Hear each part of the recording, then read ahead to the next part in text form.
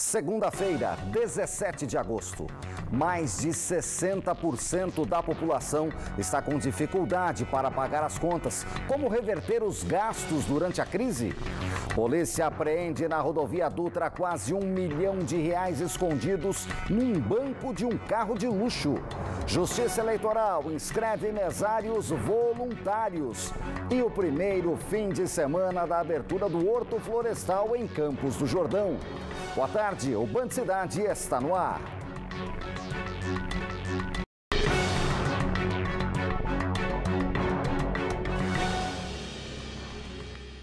Da noite para o dia, muita gente ficou sem emprego ou rendimento no negócio próprio por causa da pandemia. O resultado é o endividamento de muitas famílias. Se tem uma lição que a pandemia ensinou para a gente, é que precisamos planejar o que gastamos e com o que gastamos.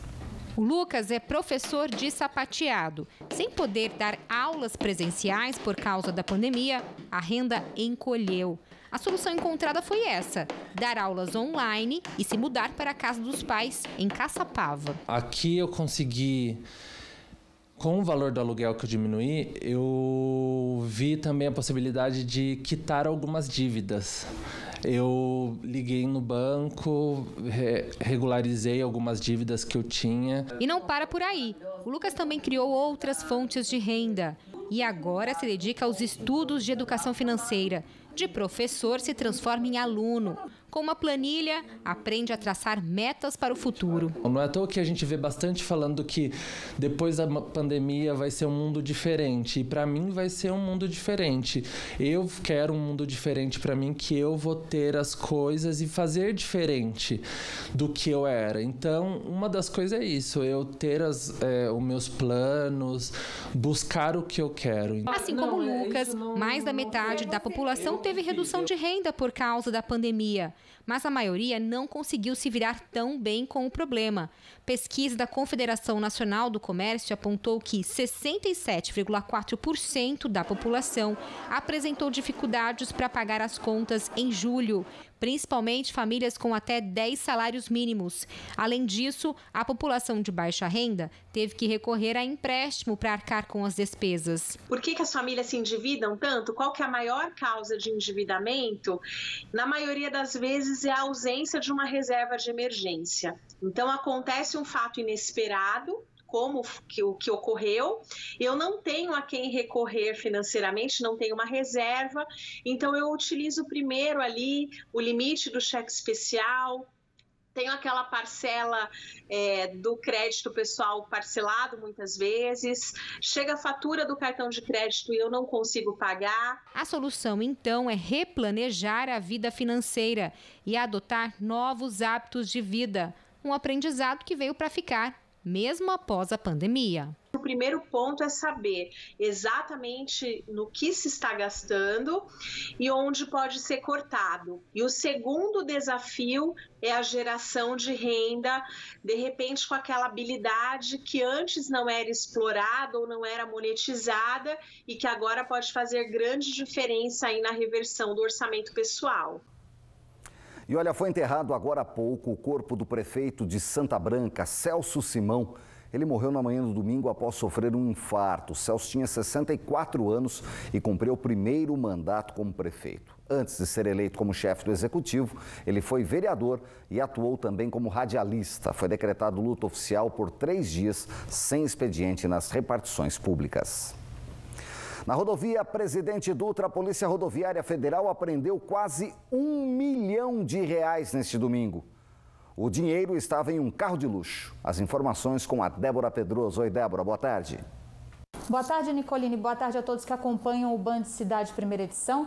Esse carro de luxo seguia na rodovia Dutra, sentido São Paulo, e chamou a atenção da Polícia Rodoviária Federal porque o motorista estava em alta velocidade e também fazia manobras irregulares pelo acostamento.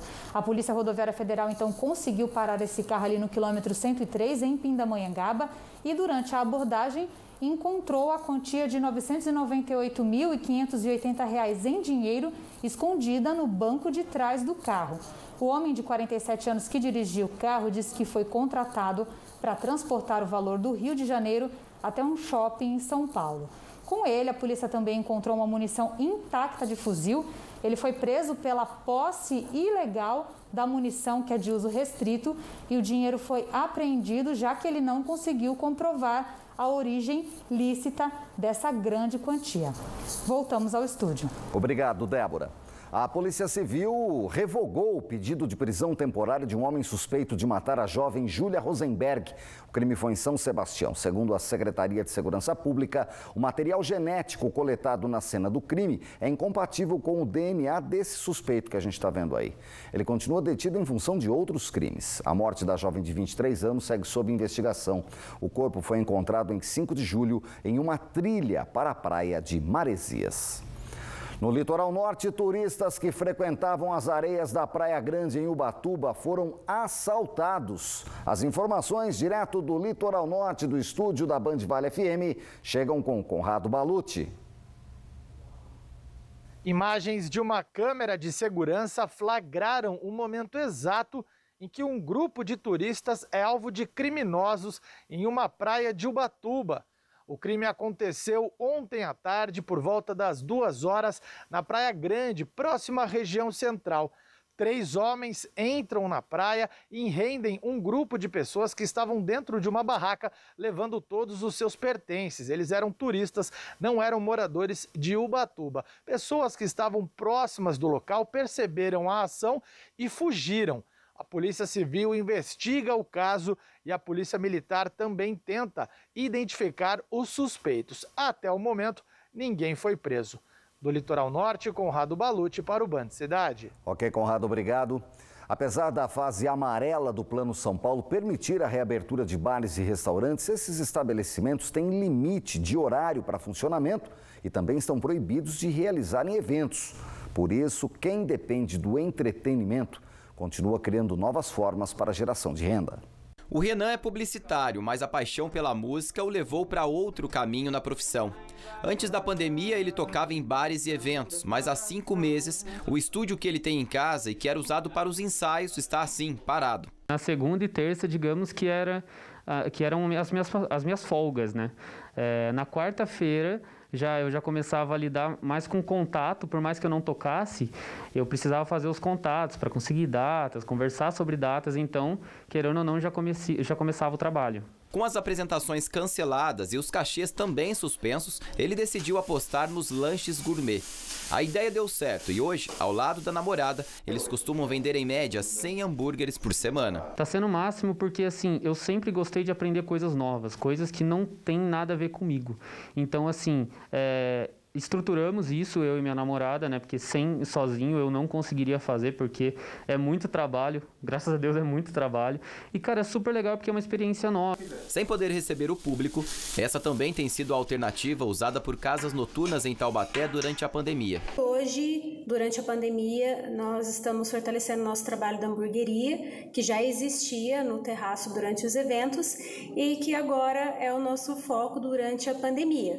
Hoje nós vendemos em torno de 100 lanches por semana é, e isso dá em torno de 5% do que cada evento rendia para gente. O Bruno é DJ em um bar em São José dos Campos. Há três anos, ele trocou o emprego na área de contabilidade pela vida noturna. A última apresentação dele no local foi dia 14 de março. Sem fonte de renda, ele não teve outra escolha senão arrumar um serviço extra na antiga área. A parte financeira pega bastante também, né? Uma redução aí de uns 80% do que eu tinha de rendimento no mês, né? É eu, minha esposa e meu filho, né? Filho pequeno. E aí tem a, a renda dela e a, um pouquinho dessa renda que a gente acaba complementando. No bar onde o Bruno trabalha, sempre ofereceu uma programação variada de eventos e shows, e pelo menos 120 profissionais também foram afetados com o fechamento. Mas por enquanto, o local só está autorizado a funcionar de acordo com as regras sanitárias do Plano São Paulo para a fase amarela. Portanto, nada de aglomeração. Formato balada, que eram as festas que a gente é, realizava durante o final de semana, isso ainda vai ter que esperar um pouquinho, né? Então esses profissionais vão ter que esperar mais um pouco, né? Eu acho que a gente teve um avanço, começou a retomar as atividades, mas a gente tem que ter calma, tem que ter cuidado, tem que ter responsabilidade. Mas eu acredito que a gente tem que pensar positivo e em algum momento essas atividades também serão retomadas, com segurança. Vamos agora ao vivo com imagens de São José dos Campos. A semana começou com chuva na região metropolitana. Ainda bem, né? O último registro de chuva em São José, por exemplo, havia sido no dia 5 de julho. Muito tempo, né? Continue com a gente. Depois do intervalo, eu volto com mais detalhes. Agora, 23 graus em São José, a uma da tarde.